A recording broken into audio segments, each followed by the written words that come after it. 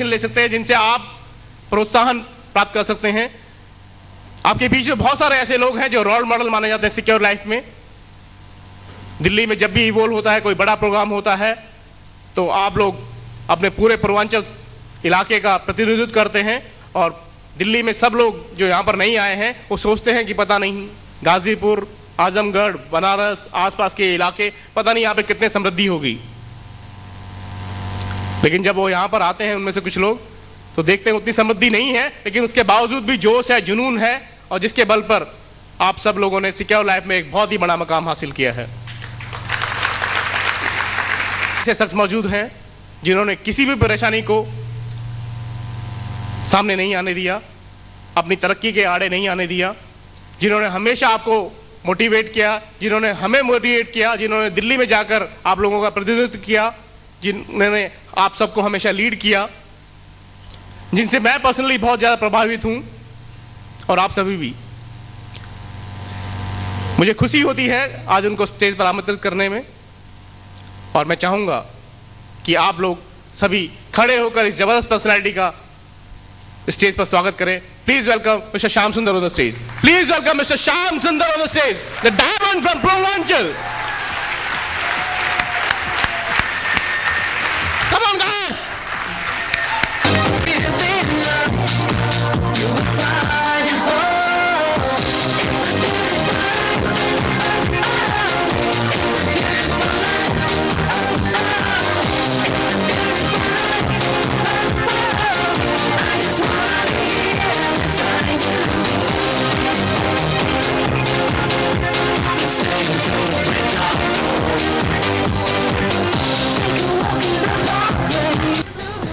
thank you mister Maan ji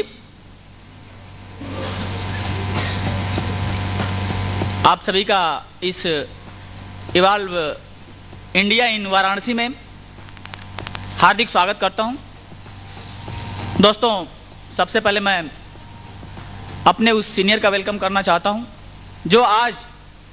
इस काशी की पावन पवित्र धरती पे दिल्ली से चलकर आकर हम सभी को कृतार्थ करने के लिए आए हुए हैं जो हम सबको मोटिवेट किए मिस्टर दीपक जी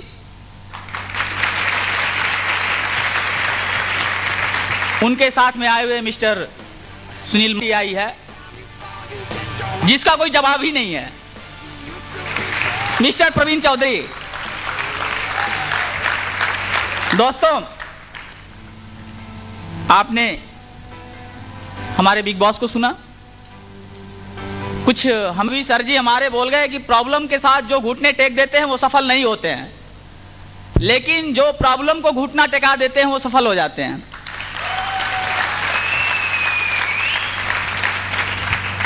तो आज घुटना प्रॉब्लम ने टेका है मैंने नहीं टेका है इसलिए मैं आपके सामने हूं दोस्तों मैं कुछ अपने बारे में कहना चाहता हूं सर जी बोले जिंदगी एक क्रीम लाइफ क्या होती है सवा तीन करोड़ सत्तावन हजार का नेटवर्क अभी ये बहुत कम है इससे भी बहुत आगे जाना है जाना है सर जी वीनस होकर आए हैं लेकिन अगले प्रोग्राम में हम सर जी को वीनस के रूप में नहीं देखना चाहते हैं दोस्तों मरकरी के रूप में देखना चाहते हैं लेकिन यह तभी संभव है जब हम सभी मिलकर एक साथ एक आवाज में एक सिस्टम में काम करेंगे तभी संभव है और वो सिस्टम आपके सामने मौजूद है जिसका नतीजा Venus double diamond diamond ruby emerald topaz pearl gold silver बहुत सारी हस्तियां यहां पे विराजमान हैं जो आपके सामने बिल्कुल आई अपना प्रदर्शन भी करी दोस्तों कुछ मैं अपना बैकग्राउंड बताना चाहूंगा आपको आज से पांच छह साल पहले की बात है मैं बहुत ही पुअर फैमिली से बिलोंग करता हूं मेरे पिताजी हाई स्कूल के छात्र थे वो हाई स्कूल से आगे नहीं पढ़ पाए लेकिन उनकी ख्वाहिश थी कि हमारे बच्चे बहुत अच्छे अच्छी एजुकेशन लें लेकिन हमारी घर की माली हालत बहुत ही खराब थी पैसे नहीं घर में हुआ करते थे जिसकी वजह से हम बहुत अच्छे स्कूल में नहीं पढ़ पाए सर जी बोले कि आज हमारे सिक्योर लाइफ एडवाइजर के बच्चे अच्छे हिंदुस्तान के स्कूलों में पढ़ते हैं लेकिन हम प्राइमरी स्कूल में ही पढ़े हैं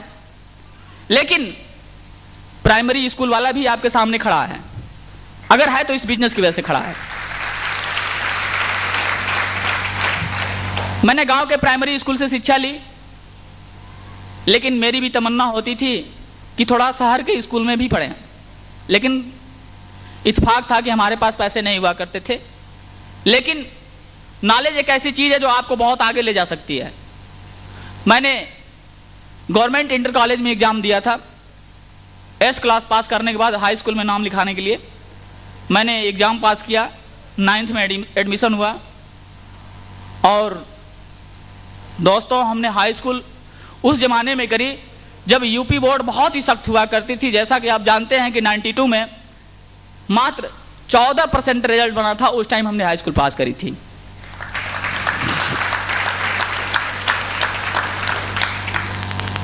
दोस्तों घर की हालत अच्छी नहीं होने के नाते हमने हाई स्कूल में ही ट्यूशन पढ़ाना शुरू कर दिया था और ट्यूशन से अपना कुछ खर्च निकाल लेते थे प्लस स्कॉलरशिप मिल जाती थी हमारा खुद का खर्च चलता था धीरे धीरे हम अपने घर में भी दो पैसे देना शुरू कर दिए थे हमारी ट्यूशन पे पकड़ अच्छी अच्छी बनती गई इस पकड़ का नतीजा था कि हम इंटर में बहुत अच्छी कोचिंग खोल लिए कोचिंग चलती रही इंटर के बाद हमने बीएससी करना शुरू किया बीएससी में हमारी कोचिंग और बढ़िया हो गई लेकिन दोस्तों इसी बीच में एक हमारे साथ हादसा हुआ हमारे माता जी की तबीयत बहुत ज़्यादा ख़राब हो गई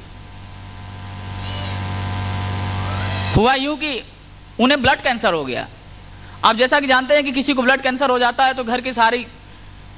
जमीन जायदाद तक बिक जाती है पैसे का क्या कहना मेरे साथ भी कुछ ऐसा ही हुआ लास्ट में उनकी डेथ हो जाती है दोस्तों हमारी माताजी की तेरही के कुछ ही दिन बाद हमारे पिताजी की भी तबीयत खराब हो जाती है और उनको भी कैंसर ही हुआ था कुछ दिन बाद ज्यादा नहीं मात्र दो महीने बाद पिताजी की भी डेथ हो जाती है और इस हमारे माता पिता के डेथ में हमारे ऊपर तीन लाख रुपए का बोझ हो गया था साथ में हमारे पास जो कुछ ज़मीनें थी वो भी गिरवी पड़ी हुई थी अब मैं इस कोचिंग से इस सारे कर्ज को उतार नहीं पा रहा था लेकिन एक पढ़ा लिखा इंसान होने के नाते हमेशा एक दिमाग में रहता था कि कोई ऐसा काम मिल जाए जहां से मैं सारे कर्ज को पूरा कर सकूं मालिक की दया हुई एक बंदे ने एक रास्ता दिखाने के लिए मुझे इनवाइट किया जैसा कि आप सभी को इनवाइट किसी ने किसी ने किया होगा मुझे भी किया मैंने भी अपने एक दिन का समय दिया और ट्रेनिंग सेंटर पे गए ट्रेनिंग देखे दोस्तों वो ट्रेनिंग किसी और की नहीं थी सिक्योर लाइफ की थी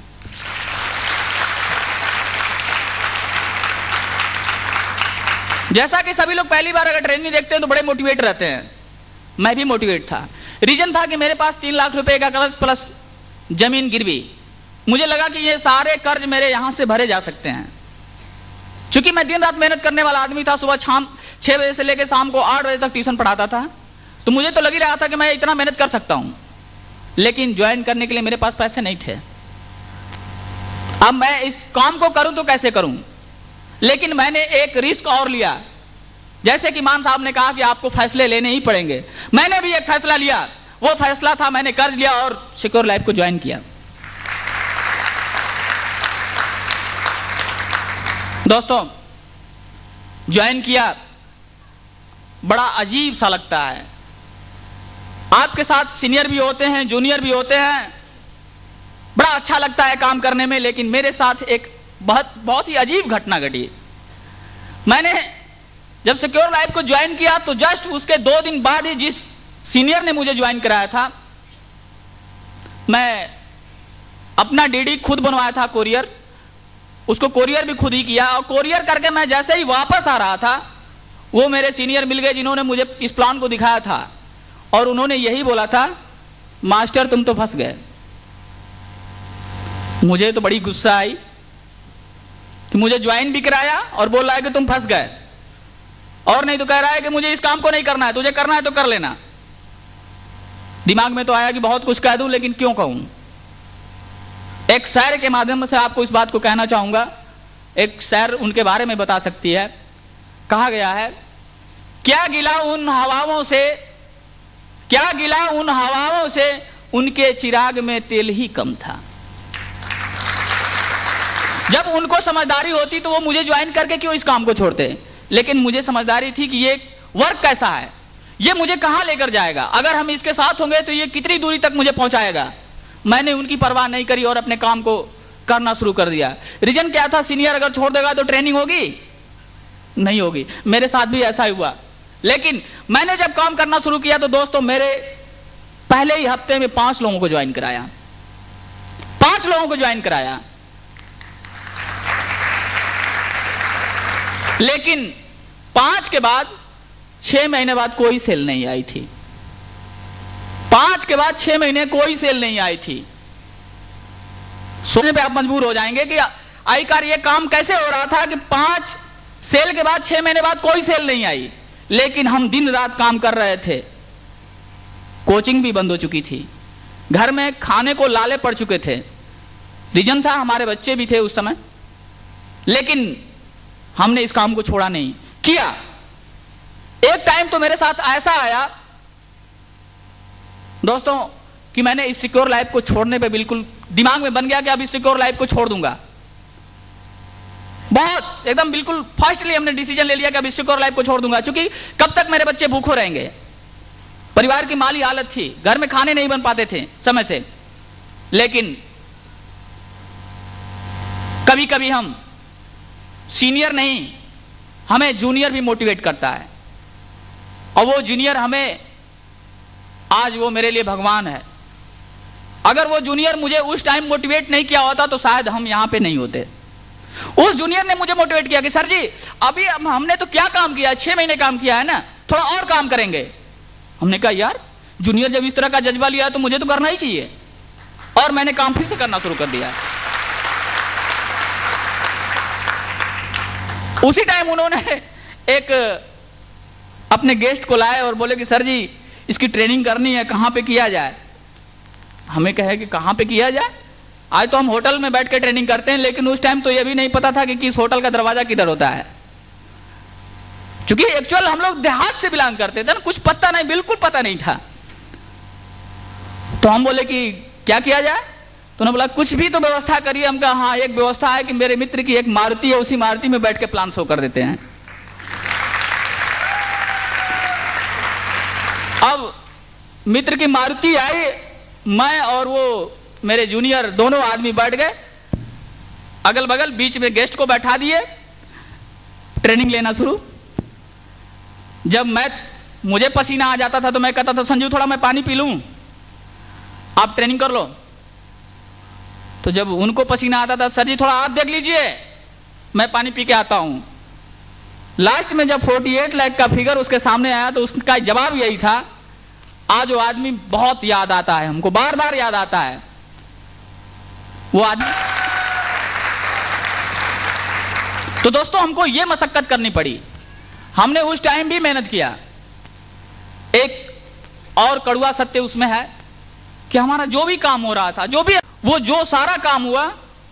वो एक लेग में ही हो रहा था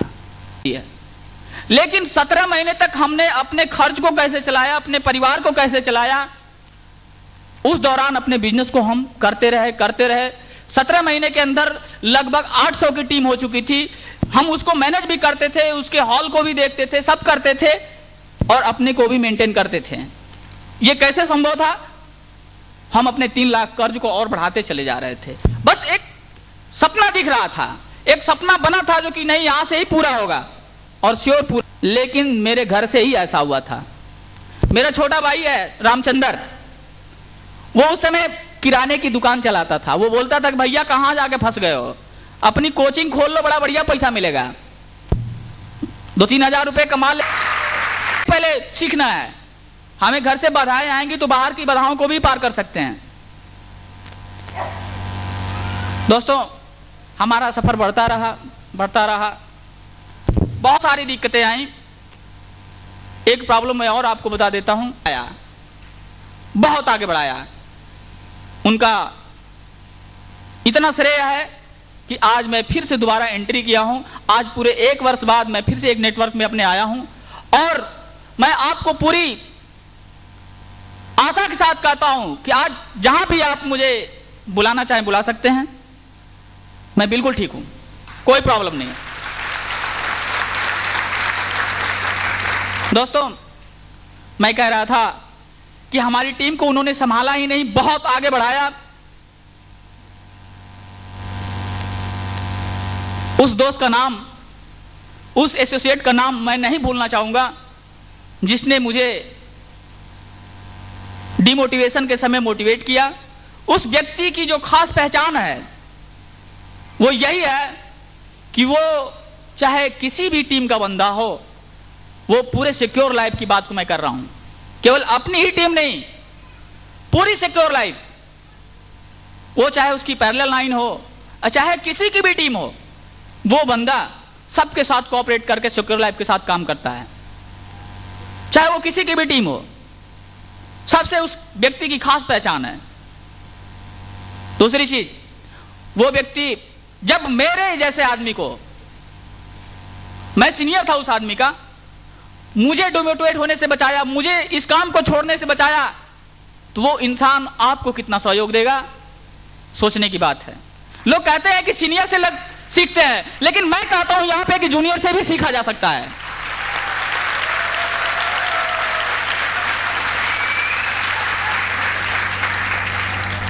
दोस्तों उस डाउन लाइन की वजह से आज मैं डायमंड हूं डबल डायमंड की तरफ धीरे धीरे बढ़ रहा हूं लेकिन धीरे धीरे नहीं आज के बाद तो रफ्तार बहुत काफी तेज हो जाएगी ये भीड़ बता रही है तो दोस्तों आज उस पर्सन का दिन है जिसने मुझे बहुत संभाला मेरे नेटवर्क को बहुत पर्सन के स्वागत में आप बिल्कुल खड़े हो जाइए